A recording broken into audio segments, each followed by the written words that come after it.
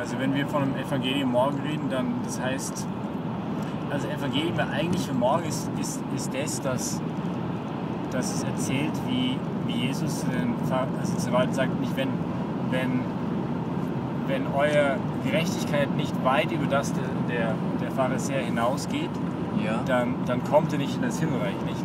Und was ich halt, was ich denke oder was, was mir einfällt zum Evangelium ist einfach ähm, dieses, dieses weit hinausgehen bedeutet natürlich, dass ich die Dinge mache aus, aus, aus Liebe, weil ich glaube, auch die Pharisäer, der Problem war ja nicht, dass sie nicht den Perfektionismus gesucht hätten. Nicht? Also sozusagen, sie haben, sie haben versucht, sehr perfekt das Gesetz ja zu erfüllen. Aber das Problem war, dass sie genau was Sie gerade gesagt haben, also dass sie dieser Perfekt, diesen Perfektionismus war, der, also die, die, das heißt, der Grund nicht, warum sie jetzt diesen, dieses, diese Perfektion gesucht haben, war, war der falsche, nicht? Also sie haben es gesucht um ihre eigene Gerechtigkeit willen. Ja. Also, oder? Also ich glaube, das Ja. ist eine der, eine der Sachen. Und, und eine andere Sache, was mir einfällt, ist gerade auch, was Sie gesagt haben, und zwar, dass, dass ähm, es eigentlich im geistigen Leben ja auch um die eigene Großzügigkeit geht, aber, aber vor allem in dem Annehmen von das, was Gott in uns tun will. Nicht sei es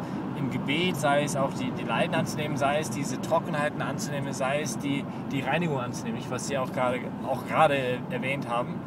Ähm, und das Dritte, was mir einfällt, ist einfach schon, mh, dass, dass diese mh, Suche nach Heiligkeit, dieses weit über das der Pharisäer hinaus, nicht unbedingt jetzt etwas Außergewöhnliches ist zu tun. Nicht, weil gerade das ist der Punkt. Also die Pharisäer haben ja das Außergewöhnliche gesucht. Öfters. Nicht und etwas, sie wollten irgendwie bessere Dinge tun, als was alle anderen machen ja. sondern es ist, es ist diese Grad der Liebe und öfter sind es in diesen ganz kleinen Dingen. Zum Beispiel einmal, ich bin in eine Kapelle gekommen am Abend und es war einer der Coworker war gerade in der Kapelle. Ich kam halt irgendwie spät nach Mitternacht nach Hause und er war auch noch in der Kapelle und hat versucht, seine Abendgebete, seine Nachtgebete vorne zu machen. Nicht?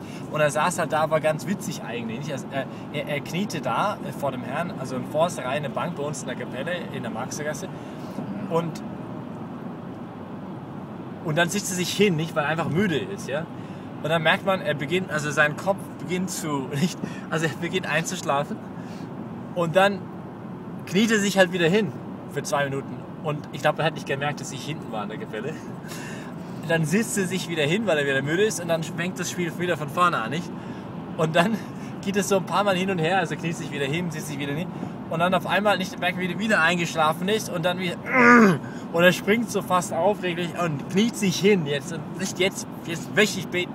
Und ich fand das so schön, weil es gibt kein Gesetz, das sagt, okay, nicht du musst jetzt, jetzt, jetzt hinknien, in der Nacht gebeten, du kannst, wie, wie du nicht, aber dieses, dieses Versuch in diese ganz kleine Sache, einen Akt der Liebe zu setzen, okay, ich gebe also ein bisschen über das hinaus, was ich halt normalerweise machen würde. Und ich, also diese, es ist es gerade diese, dieser Sprung, glaube ich, von irgendwie normal zu leben und ein, ein, ein also die Heiligkeit ist, ist etwas ein ganz kleiner Sprung eigentlich, nicht? Es ist dieses, in, in diesem kleinen Moment hier und jetzt könnte ich das oder das tun, aber es ist, okay, jetzt gibt mir der Herr die Gelegenheit, einen Akt der Liebe zu setzen. Ich kann dieses, ich kann jetzt ein bisschen mehr, nicht so sehr tun, sondern es ist die innere Einstellung, die Liebe, mit dem ich jetzt das mache, oder? Also verstehen Sie, was ich meine?